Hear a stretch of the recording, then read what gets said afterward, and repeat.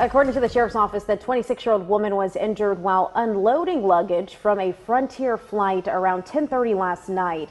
They say she later died at the hospital. Investigators have not said exactly how the woman was injured.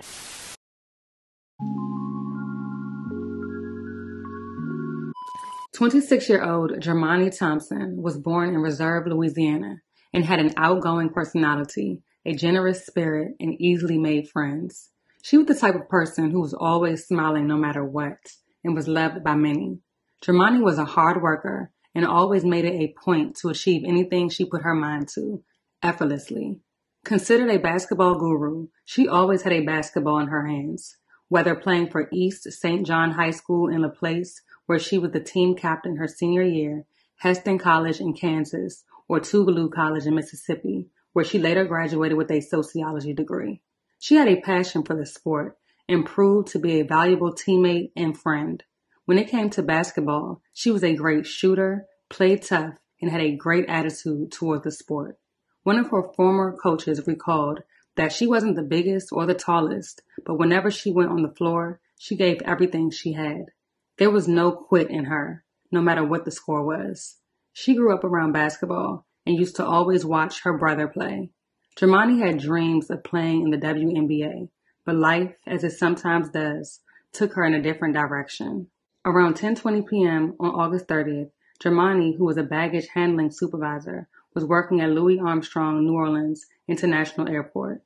As she unloaded baggage from an arriving Frontier Airlines flight, the unthinkable happened. We talked to people whose planes had just touched down.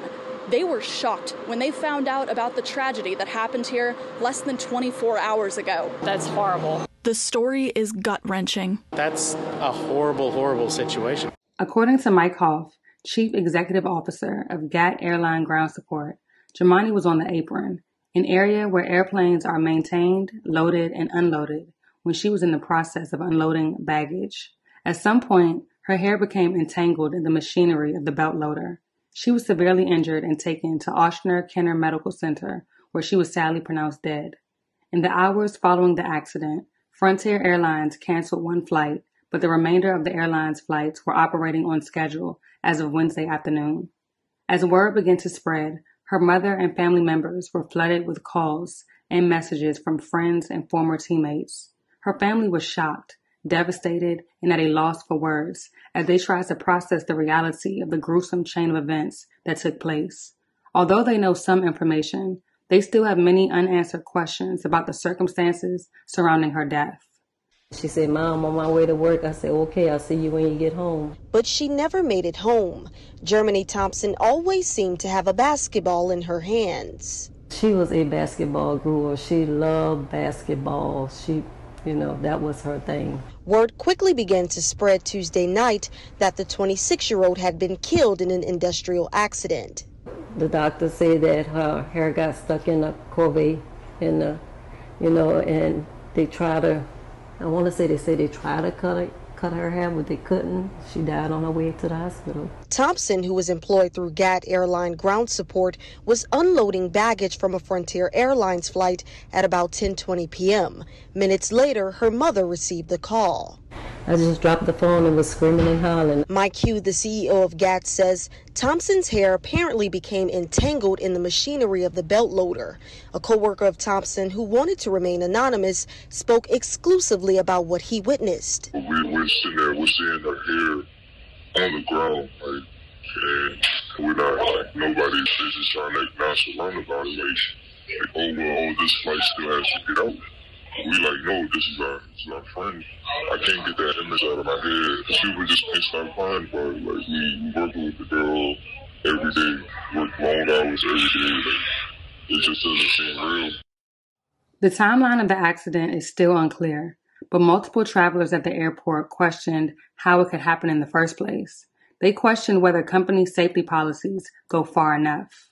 You wear a hairnet in a restaurant. Why, why aren't you doing a better job of protecting people in a workplace that potentially is so dangerous? WWL TV obtained a copy of GAT's employee handbook.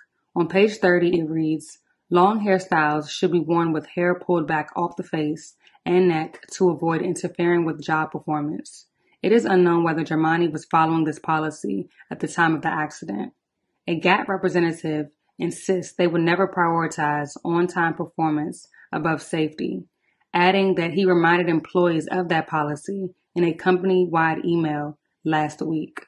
In a follow up question, WWL TV asked how strictly the hair policy is enforced, but have yet to receive a response. Others still say more needs to be done. I can't believe there aren't better safety measures for something like that. That's just shocking. Since last night, thousands of people have arrived in New Orleans.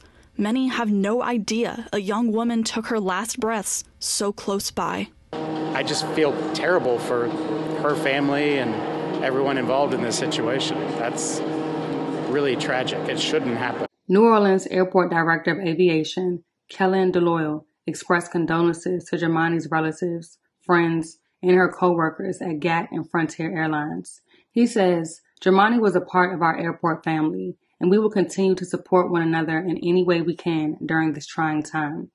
Tougaloo College issued the following statement on her death. We are all heartbroken to learn of the sudden death of Tougaloo Eagle, Miss Jermani Thompson, who tragically died on August 30th, 2022. We extend our deepest sympathies to the family, the class of 2019, friends, and the college community as we mourn the loss of a spirited, caring, and thoughtful scholar, athlete, and alumni.